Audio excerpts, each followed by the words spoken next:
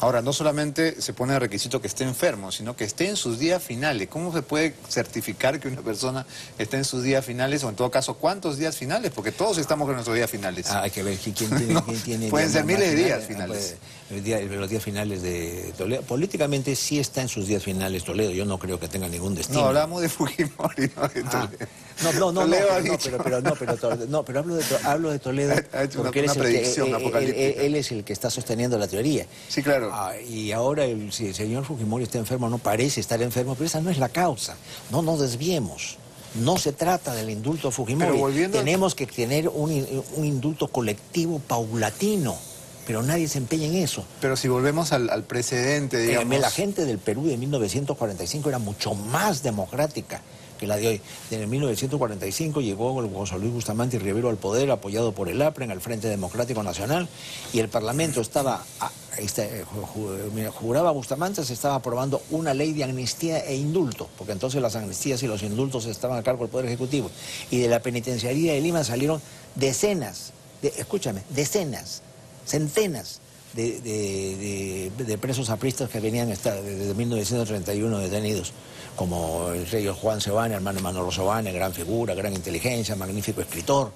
Solo, solo se quedó eh, Carlos Estir, porque el caso era muy candente, ya que estaba vinculado al asunto de los señores Emilio Quesada, y, y Alfredo Tello, que le imputaron el asesinato de Francisco Graña, y entonces el APRA timoratamente no lo soltó, pero después masivamente salieron centenas de personas a las calles sin eh, pensar que estaban enfermos, si estaban resfriados, si tenían bronquitis, si tenían leucemia. Bueno, pero entonces estamos, lo, lo que estamos co- constatando es que el- este país se gobierna sin ningún conocimiento de la Constitución, porque finalmente, volviendo al precedente de Crucillat, a Crucillat se le retira el indulto porque lo, lo ampayan en un, en un supermercado en Asia, ¿no es cierto? Y eso es considerado, es una prueba de que debe volver a prisión. ¿No? Y, el médico que, que había hecho el informe es cuestionado, este, y, y en fin. Es decir, como está caminando, como está haciendo shopping o como se va a comer a, a- a- un restaurante elegante, debe volver a la cárcel. ¿Así funciona? Ah, Bueno, ya sabemos que no, que eso es simplemente un disparate. Y Pero así funciona. y- y- y- bueno, pero funcionó así. Pero esa es la tergiversación, la desnaturalización. Lo correcto es lo que yo sostengo. Masivamente en 1945 al gobierno Bustamante salieron personas de las cárceles. Solo, solo hubo tres excepciones. Vuelvo a repetir. El caso de Alfredo Tello, acusado de haber participado en el asesinato de Francisco Graña y que se demostró claramente después que no tenía nada que hacer con el tema. Alfredo Tello terminó de secretario de Alan García después en un acto de rectificación en, el 19- en 1985. Déjame citarte lo que ha dicho Mario Vargas Llosa también sobre este tema. El indulto es para enfermos terminales. Si Alberto Fujimori recibe el indulto humanitario sin comprobarse que padece una enfermedad terminal, se cometería una violación de la ley y una traición del Estado. Este, es, eh, él es eh, bueno como escritor y malo como, como, como jurista, dando argumentos pues médicos que ya refutamos y que no son los que prevalecen.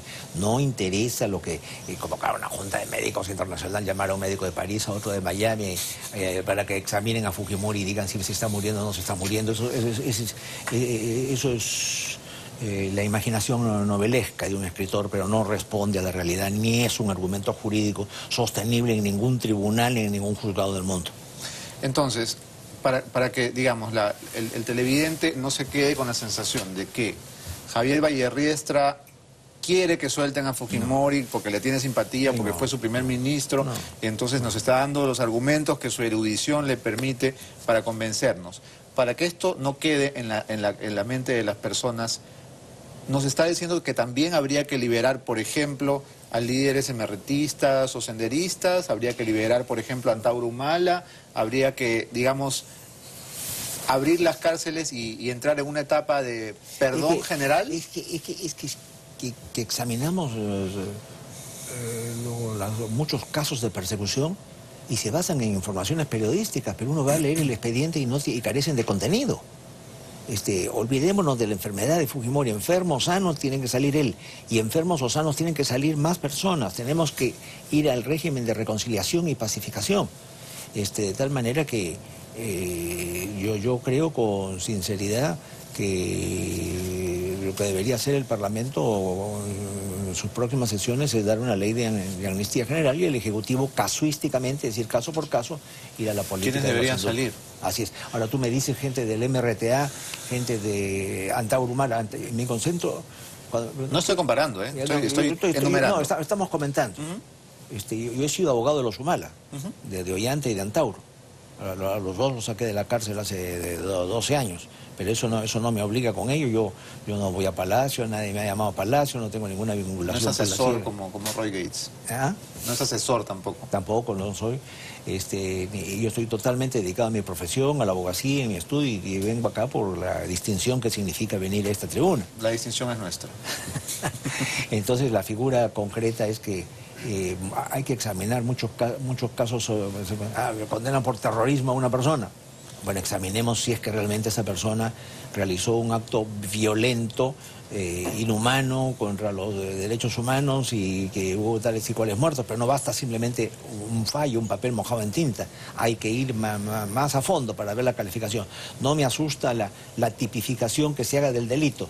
Lo que interesa es el contenido que, tenga la, relación penal. Ahora, el ministro de Justicia, el nuevo ministro de Justicia y Derechos Humanos, porque ahora se llama así la cartera, eh, Juan Jiménez Mayor, ha dicho que eh, no hemos venido aquí para indultar a nadie. Esto es una declaración literal y ahora que, la vuelvo a leer, eh, me parece que no, no, no, no reviste el mayor sentido, porque los ministros no pueden llegar a indultar, para empezar. No pueden, no tienen esa, no tienen esa facultad. Es una declaración desafortunada, ¿no? Podrán, podrán eh, es Jiménez menor, ¿no? Jiménez mayor, veo. ha venido usted con la chispa encendida hoy día. Entonces, a ver, si el presidente Humala lo tuviera como asesor, no lo tiene, no tiene esa suerte, ¿usted le aconsejaría una amnistía general que incluya, por ejemplo, a los generales que están presos eh, por vínculos con Montesinos, eh, ¿a quiénes? Es decir, ¿quiénes pondría en esta lista en aras de la reconciliación?